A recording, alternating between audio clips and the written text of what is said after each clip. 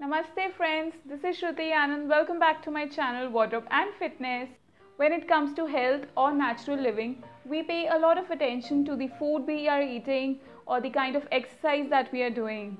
In one of my videos, I talked about that it is very important that the kind of utensils we use to cook food. But do you know that there is one more aspect of health that we need to pay attention to? Most of us pay attention in collecting vegetables or fruits from the market. And we have a habit that we purchase this in bulk and store it in our refrigerator. But do you know that this refrigerator is not only harmful for our health, but it is also very harmful for the environment. But the thing is that it has become so common nowadays that we can't imagine living without refrigerator. Refrigerator or fridge is one such object in which sunlight cannot enter and also air is not able to pass through this. Refrigerator has a temperature very low as compared to the room temperature and this thing is not done by the nature. It happens by going against the nature. So extra effort is required for this. Certain gases are required to lower down the temperature of the refrigerator. These gases are known as CFC, which is also known as chlorofluorocarbon. Now refrigerator makes use of CFC, which is chlorine, fluorine and carbon dioxide. Everybody knows that when we breathe, we inhale oxygen and we exhale carbon dioxide. But in CFC, carbon dioxide is there and these CFCs are emitted by the refrigerator. So imagine the food which is kept inside the fridge is constantly exposed to carbon dioxide. So imagine if we are going to consume the food which is present inside this refrigerator. You're going to keep this carbon dioxide within you. And this thing is very dangerous for our health.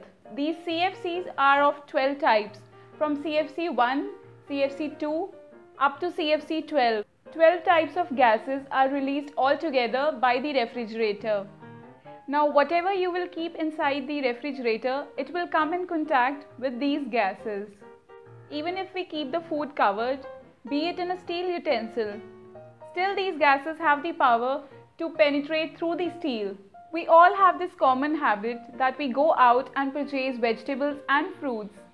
We purchase them in bulk and we come back and store all this inside our refrigerator thinking that okay we have purchased the food now we have saved a lot of time. Yes refrigerator does save time. It makes our life easy but at what cost we are doing all this? Secondly, another mistake that we all do is that even if we don't store the vegetables and fruits inside the refrigerator, we cook the food in bulk and then store it inside the refrigerator so as to save time so that we can consume this food even during the rest of the day or even up to few days which is again not a healthy practice. Maharishi Wagbhat who is a pioneer in Ayurveda says that food after being cooked should be consumed within 48 minutes, after which its nutrient content goes really down. So friends imagine if are going to store the cooked food inside the refrigerator and on top of that consuming it after long hours, where our health is going. Before coming to the conclusion of this video, let's go back in the history and talk about when this refrigerator was invented. Well, Friends, do you know that this refrigerator was invented in Europe in military for storing the medicines. And after that this refrigerator came to our kitchen and it became an important part of our household. Health is one aspect, but these CFCs, that is the chlorofluorocarbons, which are present inside this refrigerator, is not only harmful for us but for the environment too. One of the major reasons for global warming is CFC. Due to global warming, the winter is becoming short and the summer is becoming long. Now comes the question that can we live without this refrigerator? The answer is yes, we certainly can. I'll share my experience with you guys. In my school, environment science subject was very dear to me. And in that we used to study a lot about CFC and how this is harmful for the environment and what are its sources. And I was surprised to read that the major sources come from our home. For example, air conditioner or the fridge. These are the major sources of CFC. Around 10 years back, my parents saw lectures of Rajiv Dixit ji. In one of his lectures, he had mentioned about the harmful effects of refrigerator. It was then that my parents thought that we should stop using refrigerator in our home. So initially we stopped using fridge in the winters. Initially it seemed impossible for me that how we can live without refrigerator.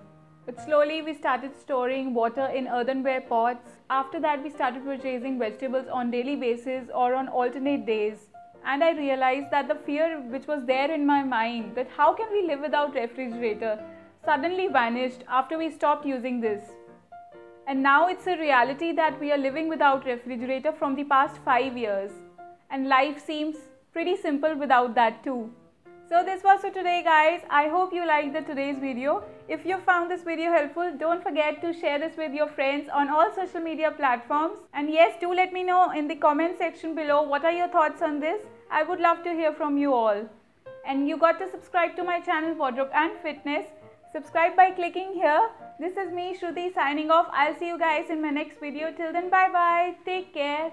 Lead a healthy lifestyle.